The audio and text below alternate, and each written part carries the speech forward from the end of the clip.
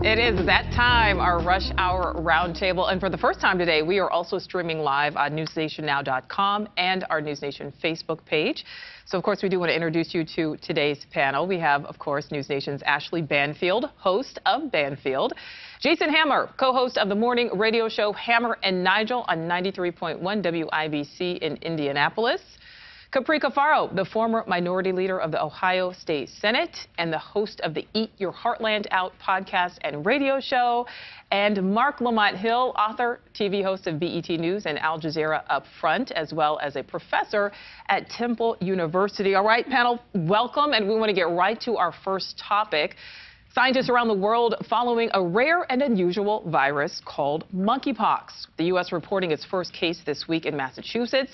Health officials, though, keeping an eye on a possible case in New York City. The CDC has been tracking cases in several countries that don't normally report monkeypox. And now the U.S. has ordered more than $100 million worth of a vaccine protecting against monkeypox. Now, just to compare, the CDC spent more than $20 billion in COVID vaccine preps and distribution just last year. But our big question now that we are in year three of the COVID pandemic and all of the back and forth that those three years have entailed, has the CDC lost your trust? Is the agency still credible when it comes to other potential health crises? Ashleigh, let's start with you. No, I, I, haven't lost my faith in, in, the CDC. I have lost more faith in the people uh, in the press talking politically about medicine than I have about the CDC. And I also, I got to say one thing. I hope someone on this panel can help me, but uh, I watched one cable news channel that said there's no cure, no treatment. Um, and then I saw in the New York Times, oh, you can get a viral uh, treatment. And now I have no idea if I get monkeypox, if I can actually get fixed. Panel? Well, I do I do know that there's uh, what they're using for this vaccine. Apparently, that there's a smallpox vaccine. I don't know. Obviously, I don't know if that's going to be a treatment or if it's more prophylactic. But um, this smallpox vaccine is 85% effective against monkeypox. So that is at least something. And I'm glad to see that the CDC and the American government is being proactive by actually ordering a vaccine that they know can actually work. I would say, you know, I also have not lost faith in the CDC. I do think that things have become incredibly politicized, which I think has made a lot of the American public second guess, um, you know, the CDC and, and other health officials. But in the United States, Massachusetts actually um, is where they're tracking it. They have their own local and state health officials. So not everyone in the chain of command that deals with, uh, you know, viruses and epidemiology is somehow corrupt or wrong. I mean, this is all over the world now. Frankly, I'm more scared than anything else. It's a little freaky. Yeah. I think for me, it, the question of trust is an interesting one. I don't believe that the CDC uh, should not be trusted in the sense that I think they're doing something dishonest. I think we learned two things during this COVID 19 pandemic. One, as Ashleigh pointed to, is that this is an incredibly political uh, climate when we talk about illness and disease and viruses, that it's not just let's find the science, let's get the medicine, and let's fix it. People have a vested political interest in certain outcomes and in certain analysis. And the other thing is, doctors don't like to say they don't know, and neither do scientists. And so I think the CDC always give us its best information. We were told that, you know, at one, at one point we thought that if we got the vaccine, we'd be fine and we couldn't pass it to other people. We thought there was a 90% chance or a 95% chance we'd be okay. You know, we, we thought that we could, you know, there are all these uh, the bar kept moving, but I don't think anyone was being dishonest. I think the more information we got, the more we learned about different strands, the more the, the knowledge changed. So I trust the CD the same amount, but I think we're a lot less uh, wide eyed uh, and naive about how science and medicines work when we're trying to unpack a crisis in real time. But most illnesses, most diseases, most viruses, the CDC understands and knows, and if they have the answer, I believe them. All right, Hammer, what do you think? Yeah agree on here is that it's become political, right? That's the one thing I think we can all agree on here. And maybe we're singling out the CDC a little too unfairly here because the word I want to focus on is experts. Nobody has had a rougher two and a half to three years than experts, right? Whether it's been the Surgeon General Jerome Adams, whether it's been Dr. Fauci, whether it's been folks talking about the vaccine, the experts that have been rolled out to the media networks have been wrong a lot. And it doesn't make you a bad person for pointing out that, wait a minute, didn't Dr. Fauci say don't wear a mask? Then he said to wear one. Didn't Jerome Adams say the same thing? I was told that the vaccine, if I got it, I wouldn't get coronavirus, I couldn't spread it turned out not to be true. Experts have had a rough two and a half to three years. And while it may be unfair to single out the CDC, I don't think people have lost complete faith, but I think people are more ready to take a pause before they're ready to believe an expert on anything, especially after the last couple of years. All right, I want to interject See, I, two things here really quickly. I, I, Ashleigh, I want to answer your question. On the CDC's website, it says there is no proven safe treatment for smallpox, or excuse me, for monkeypox, but when it comes to prevention, there is that smallpox vaccine. And I don't know, is our panel uh, maybe just very forgiving? Because we do have a News Nation poll that says when it comes to information about COVID-19, which of the following sources would you say you trust? Fewer than 50% trust federal health authorities like the CDC, like the FDA. So, what do these agencies need to do to try to fix their reputation? I think I- there's I- a lot of conflation too, right, Nicole?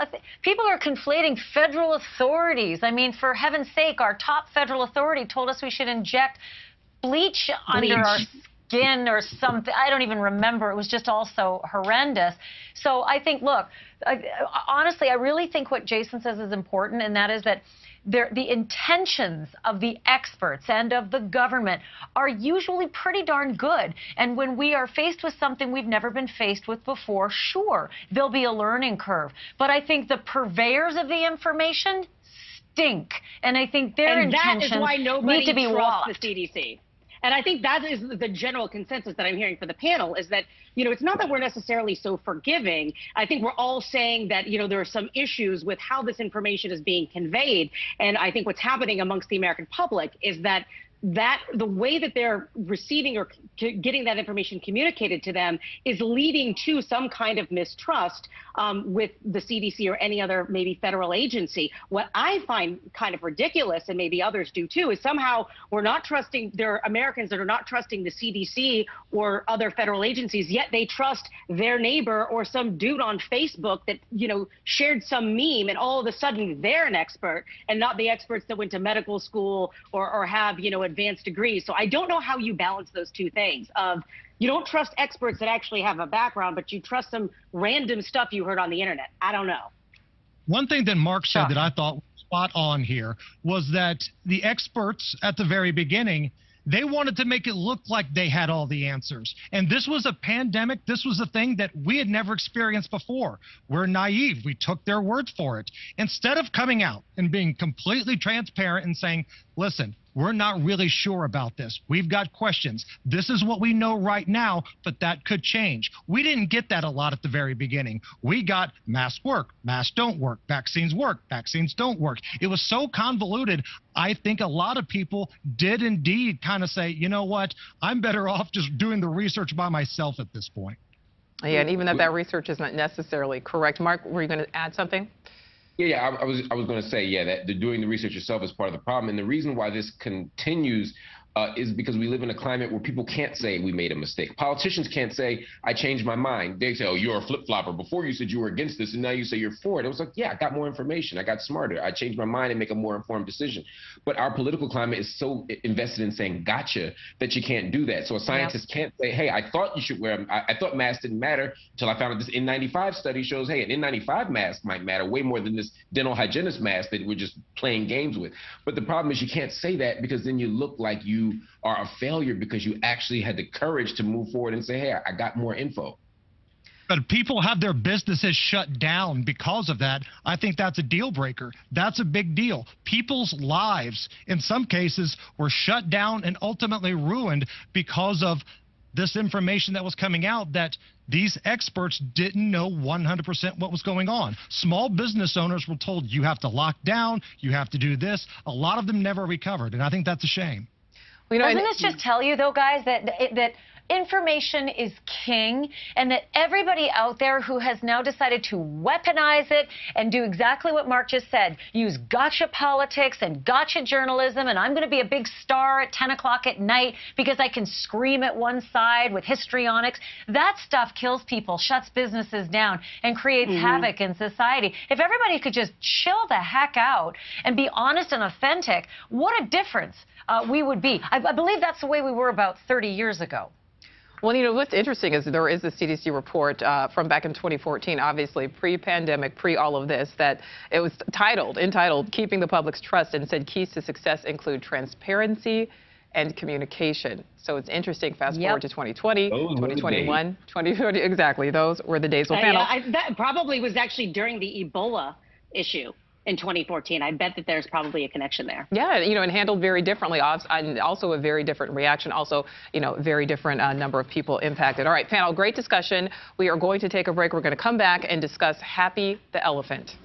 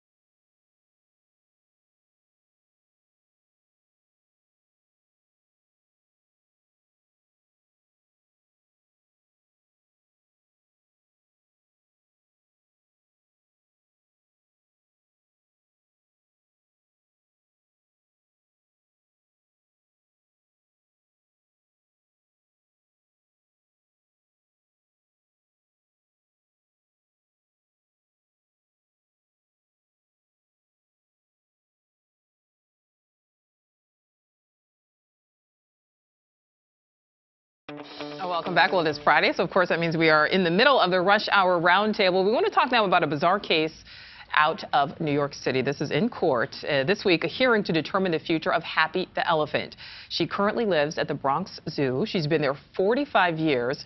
Critics argue Happy the elephant should be treated under the law as a person. Animal rights activists say she is being mistreated. Zoo officials say she is not.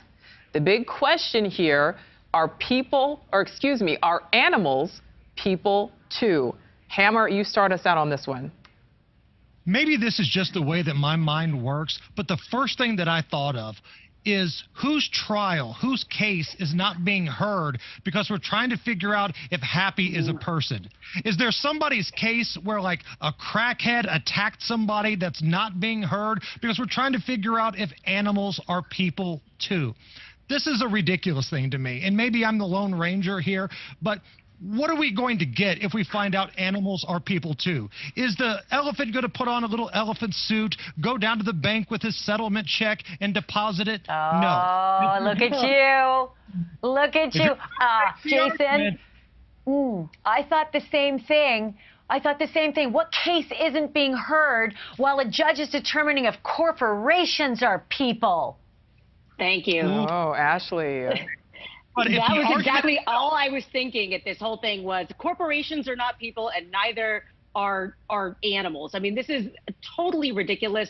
I mean, you know, you have to ask yourself the the question that, you know, are did the animal did the elephant somehow, you know, if it were a person, did it call up and say, look, I'm being mistreated at the Bronx Zoo. I would like legal representation. So will someone please take this case because I'm, you know, being ill treated? There are laws on the books that exist for animal maltreatment, for animal protection. We all love animals. We certainly want elephants to live. I would bet that the Bronx Zoo also agrees Happy probably is living up to his or her name, being happy there for the last 45 nah, years. No, no, no. Happy's depressed. No. Happy is alone, and Happy's Happy in one depressed. acre. Happy's not even allowed to see the other yeah. elephant because Happy's lived in isolation Happy's for condition. 10 years. Yeah, yeah. Happy's yeah. lived in Happy's isolation for 10 does, years, does so we know Happy is not happy. happy. Happy's absolutely not happy. I think there are a couple of issues here, and, and, and first I, I, begin by saying, yeah, no, this to me the answer to this is somewhat axiomatic. It is self-evident. Mm, that's very impressive, not, Marc. Professor, animals, professor. Animal, he plays Wordle too people, right? and actually, I still can't figure out how to get to Wordle. I'm an old man now. I don't even know how to do it. But an- animals are not people because animals are. Um, just hear me out. Animals, right? That, so, so I think that we can we can begin from that place. However, I think there are legitimate questions that we can ask about animal safety, about animal rights. And part of the problem is because we're so selfish or even so solipsistic as human beings that we can't see outside of ourselves. And so the only framework we have for thinking that anybody deserves decency and safety and love and care is to see them as humans. So to that extent, I understand why someone would use that argument. But the problem with that argument then is that you get to a case where we're not just talking about does this animal deserve to be locked in a cage? Does, should this animal be skinned alive or should this animal be eaten? The kinds of ethical questions we're always asking. But we're now asking if this animal should get a cut from a selfie. And, and those are the you know things what? that are well, that's interesting, yeah, I'm because there was a case, too. yes, yeah, there was a, a monkey in the- Indonesia that took a picture of itself uh, using a wildlife photographer's camera. PETA took that photographer to court, raising a very complicated question of who actually owns the image, the photographer or the monkey who took the picture, since the animal took the picture. Now the case was ultimately settled, but you know, if if Happy the ele- the elephant ultimately is determined to have the same rights as humans, what does that mean about you know for other zoo animals? Kind of Precedent? Let Yeah. me blow your mind a minute here. Let, let me blow your mind a minute here. The, the animal rights activists who really want Happy to be considered a person um, may actually be doing themselves a disservice. And I'm not weighing in either way here, but I am saying that if Happy were determined to be a person, then Happy would have to start working for a living. And Happy wouldn't have the benefits of animal welfare and protection either. So they could cut both ways in this case. But it's been decided, there is precedent on this, right? Judges have decided that, um, you know, animals could be considered conscious beings and have self-awareness. There's an old test that was administered, uh, and I think Happy was uh, one of the only elephants Yes. that's passed this test. They put they they, they put them out, they, and then they drew a big dot on their heads, and if they looked in a mirror and then they, they felt it or tried to assess what was on their heads, they were considered conscious beings. And Happy's the only elephant to ever have passed that test. yeah, that that Now, is. I'm Uh, here. I didn't teach a class in college. I have a mere meager Ball State University education. But an elephant is an elephant. An elephant is an elephant. A monkey is a monkey, and a human is a human. And if you're going to argue that an animal is a human, then it should go both ways, right? Then I should be able to show up to work without any clothes on. Fling Oh, number wait two a minute, Hammer. Oh man. Wait, look, I have to bring down the hammer on that one. Is that That why is they call the perfect stopping point on that panel. I'm sorry, we have run out of time. That is all for News Nation Rush Hour tonight. Hammer, please keep your clothes on. Thank you so much, panel. Ashleigh, Hammer, Marc, and Capri. Appreciate it. On Balance with Leland Vittert is next.